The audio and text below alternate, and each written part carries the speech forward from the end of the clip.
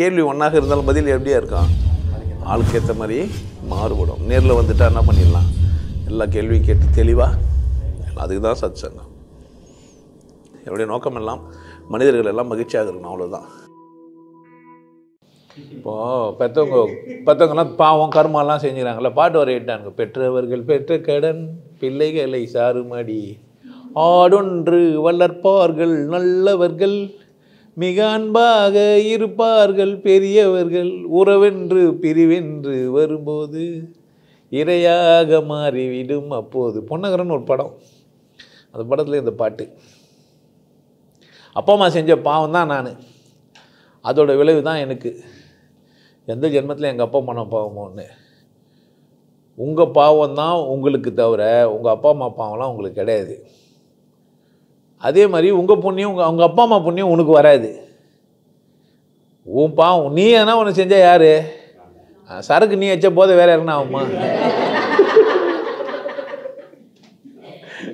அப்படி ஆகும்னா என்ன பண்ணலாம்? அப்பா அம்மாவுக்கு ஊற்றி ஊற்றிட்டு கம்முன்னு உட்காந்து பார்த்துக்கலாம் அது குடிக்கிறது இது கஷ்டப்பட்டுன்னு டிஷ்லாம் வர சாப்பிட்டு நான் அவங்ககிட்ட குடிப்பா? அப்படின்ட்டு நம்ம என்ன பண்ணலாம்? செம்ம போதையாக இல்லை. இல்லை சாத்தியமே இல்லை. நான் தான் குடிச்சாகணும். அப்படி தானே என் தாகத்தை யார் தீர்த்துக்கணும்னா நான் தான் தீர்த்துக்கணும். என் வாழ்க்கையை நான் யார் முடியும்னா நான் தான். பட் நான் செய்த கர்மத்துக்கு ஏற்றபடி எனக்கு அப்பா அம்மா கச்சிருப்பாங்க. சூழ்நிலை அதுக்கேற்ற மாதிரி அமைஞ்சிருக்கும். நான் என்ன சொல்கிறேன் எந்த மாதிரியான சூழ்நிலை உனக்கு அமைஞ்சிருந்தாலும் அது உனக்கு வரம் சாபம் கிடையாது. முதல்ல புரிஞ்சு வச்சுக்கணும். உனக்கு எந்த மாதிரியான ஒரு சூழ்நிலை இருந்திருந்தாலும் சரி. விபச்சாரி வயிற்றில் தான் நான் பிறந்தேன்னு ஒருத்தர் காமிச்சிக்கிறார். உங்கள் அப்பா பேர் என்னன்னா காசு எடுத்து காமிச்சிறாரு யாரெல்லாம் உங்களுக்கு தெரியும்னா அரசியல் தெரியும்னா நீங்கள் போய் ஆராய்ச்சி பண்ணீங்க. இதுதான் எங்கள் அப்பா அப்படின்லாம் காமிச்சிடுறாங்க அதனால் அப்பா மேட்ரு இல்லை. சப்ப மேட்ரு இது. அம்மா மேட்ரு இல்லை. அது வேறு வழி கிடையாது. அம்மா ஒன்று ஒன்று இருந்தால் தான் அங்கேருந்து தான் வரந்து ஆகணும். ஸோ அம்மா அம்மா செஞ்ச பாவம் அப்பா செஞ்ச பாவம்லாம் கிடையாது. நான் பாவம் செய்யாமல் இருந்தேனா நான் புண்ணியம் செஞ்சேனா நான் யோசித்தேனா அப்படின்னா என் சிந்தனை தெளிவு ஏற்படுது. நான் வாழணுன்ற உத்வேகம் எனக்கு ஏற்படுதுன்னா நான் எங்கேயோ புண்ணியம் பண்ணிடுறேன்னு அர்த்தம். மாறா விதி பேரையே சொல்லி நான் ஏமாந்து போய்கிறேன்னா நான் பாவம் செஞ்சவன் தான். நான் யார் தான் பாவம் பாவம் செஞ்சவனா தான் ஆவான். வாழ நினைக்கவே மாட்டான். வாழ தோணவே தோணாது. வாழ நினைக்க மாட்டான். வாழ அவனுக்கு தோணாது. ஏன் வாழ தோணல? ஏன் அவனுக்கு வாழ தோணல? பண்ண பாவம் அப்படி. இது அப்பா அம்மா பண்ணாங்க பாவம்லாம் கிடையாது. எங்கள் அப்பா எங்கள் அப்பா வந்து நல்லா குடிப்பாருன்னா அது எங்கள் அப்பா பண்ண பாவம். நானும் நல்லா குடிப்பேன். நல்ல சரக்காக குடிப்பேன். இப்போ பாவமாக புண்ணியமா? எங்கள் அப்பா குடிக்கிறதுனால நானும் தானே குடிக்கிறேன். நான் சும்மா பேச்சு. அப்படிலாம் சொல்லி நீங்கள் ஏமாறுறீங்க ஏமாத்துறாங்க. விதி இருக்குது. உங்கள் அப்பா அம்மா செஞ்ச பாவம். உங்கள் அப்பா அம்மா வேலை தான் நீ செய்யணும். நீ இந்த இடத்துல பிறந்தது காரணம் கடவுள். கடவுள் தான் உன்னை வந்து என்ன ஆகிட்டாரு சோதிக்கிறாரு. நீ ஏழையாக இருக்கத்தான் பிறந்த. அப்படியெல்லாம் யாரும் பிறக்கல. யாரும் என்ன பண்ணல? அப்படிலாம் பிறக்கல. நான் எத்தனை முறை சொன்னாலும் உன் காதில் கேட்காது. ஏன்னா அவன் உன் கர்மம் அவனுக்கு கேட்காது. நீ கண்டி புண்ணியம் செஞ்சுதானே என் வீடியோ பார்த்துருவேன். ம். புண்ணியம் செய்தோர்க்கு கண்ணெதிரே தெரிவான்.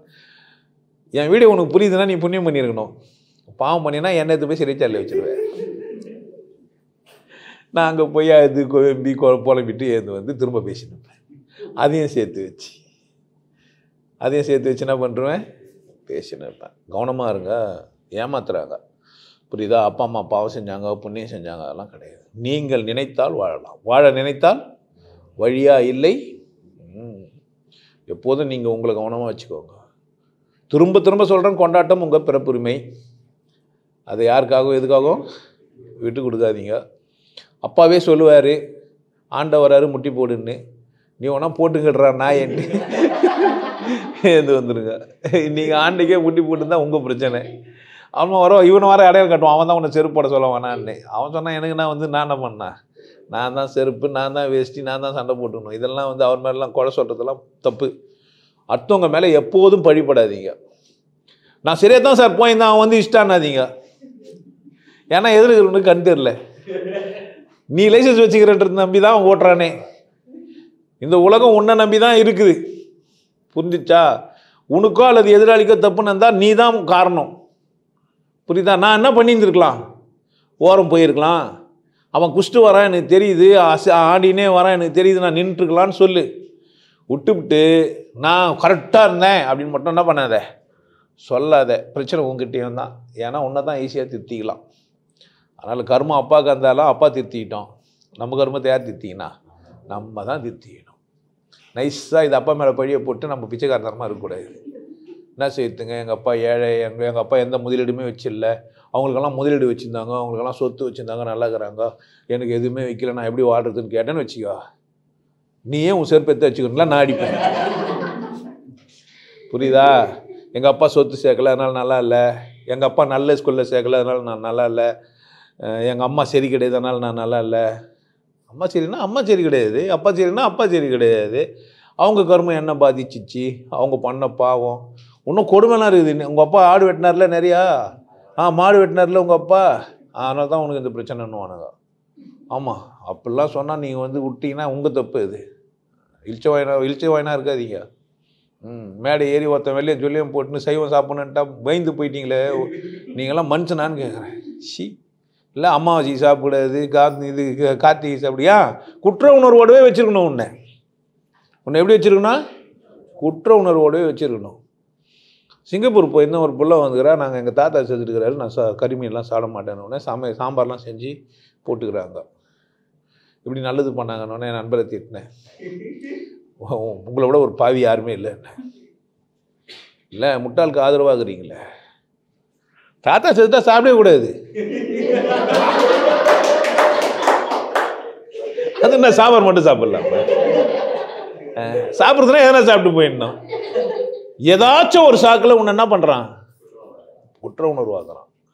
அந்த மாதிரி தான் இதுவும். பிரச்சனை ஒன்றும் இல்லை. உங்கள் அம்மா செஞ்ச பாவம் உங்கள் அப்பா செஞ்ச நீ எதுவும் செய்யல.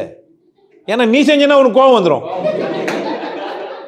இப்போது நீ தான் பாவம் செஞ்ச உன் பாவம் தான் இப்படி சொல்லிட்டு சொல்லிட்டா உனக்கு கோவம் வந்துடும் அப்பா அம்மானா உனக்கு கொஞ்சம் கோவம் வர துணி தள்ளி போயிடுச்சு இல்லை? இன்னும் உங்கள் மூதாதையர்கள்லாம் ஜாதகம் கட்ட எதுவுமே குத்து வச்சு உங்கள் மூதாதையர்கள் பண்ண பாவம்ட்டுருவான் மேட்ரே முடிஞ்சிச்சு யாருனே தெரியாது. ஆல்ரெடி அவங்க கான்னு அதெல்லாம் அதெல்லாம் ஒத்துக்காதீங்க. புரியுதா? நீங்கள் சிந்திக்கிறபடி தான் உங்கள் வாழ்க்கையில் அமையுது. மனம் போல் மாங்கல்யம். நான் நன்றாக வாழ்வேன் சிறப்பாக இருப்பேன் கொண்டாட்டமாக இருப்பேன். கடவுள் என்னை மகிழ்ச்சியாகவும் உற்சாகமாகவும் கொண்டாட்டமாக இருக்கத்தான் பிறக்க செய்தது. ஊக்கம்தான் எனது உடைமை. நான் எப்போதும் ஆர்வமாக செயல்படுவேன். யார் தான் நீங்கள் தான் இந்த ஓத்து எடுத்துங்கன்ற நான். இது கூட வேறு மாதிரி அர்த்தம் எடுத்துப்பானுங்க போல உங்களை நீங்களே என்ன பண்ணீங்க? ஓத்து எடுத்துங்கன்னா என் சொன்ன தமிழில்? ஆ? ஆ பா. உறுதிமொழி எடுத்துங்கன்னு சொல்ல வேண்டியதானே ஓத்து எடுத்துங்கன்றாரு இவரெல்லாம் ஒரு சாமியாரா நீ? எப்படியோ நீங்கள் ஓத்து எடுத்துப்பீங்களோ உறுதிமொழி எடுத்துப்பீங்களோ அது உங்களுக்கு சொந்த பிரச்சனை. ஆனால் வாழ்ந்துட்டு போகும் சரியா?